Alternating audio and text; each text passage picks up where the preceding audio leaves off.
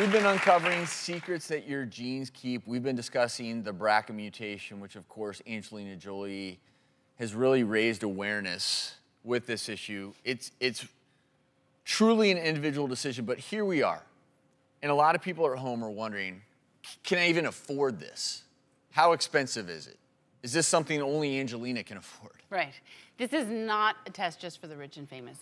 Every major insurance carrier has strict criteria, and when you meet them, they'll say, yes, we'll pay for this test. So for the vast majority of insured women, this is a covered test. It's the uninsured and underinsured for whom it becomes impossibly expensive. If you don't qualify, what is the roundabout cost of the test?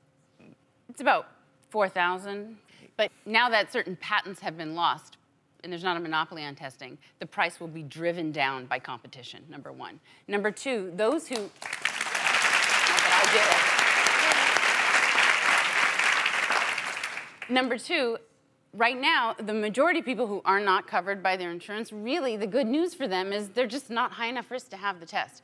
What insurance basically looks at is do you have at least a 5 to 10% chance of having this gene? Mm -hmm. And if you do, we'll cover the test.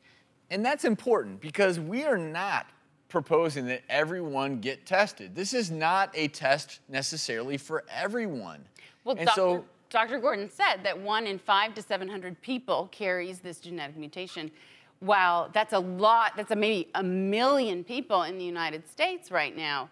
Right. That's not every woman walking. No, that's true. So, so talk to us a little bit about who then. Who should get the test? Great. Here are the basics. If you yourself or two of your family members has had breast cancer under age 50 or ovarian cancer at any age, you should test. You only need one of those relatives if you happen to be Ashkenazi Jewish. If anyone already has the BRCA gene mutation, if there is a male breast cancer in your family, if you yourself have had what's called a triple negative breast cancer prior to age 60, mm -hmm. you would know if you've had it. Yes. And if you yourself have had more than one breast cancer, you should test. And finally, if there's just a whole lot of cancer in your family, three or more family members, maternal or paternal side, dad's side matters just as much with breast, ovarian, pancreas, prostate, gastric, which is stomach, colon, uterine, or melanoma test. Wow.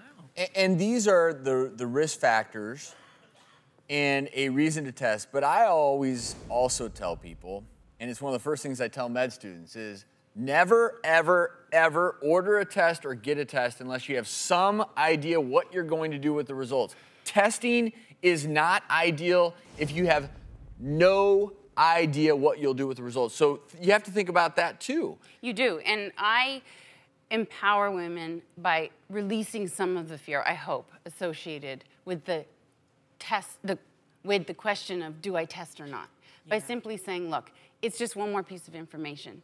If you have the gene, now we know we got to up the ante with more surveillance. I'm not telling you you need mastectomies tomorrow, mm -hmm. but you need to get your head out of the sand. You either need more intense surveillance mm -hmm. or you get to find out your actual level of risk and make proactive choices that can hopefully save your life. Thinking back, I've had many women be terrified to find out the results. I've never had one say, wow, I wish I didn't know I had this. Sure. And I think what's important is with technology, women are having more and more choices. And we'll talk in a later episode about how a BRCA mutation affects men because it affects men very differently, but it also increases their risk of cancer. Dr. Funk, always such a pleasure. Thank you for enlightening us today.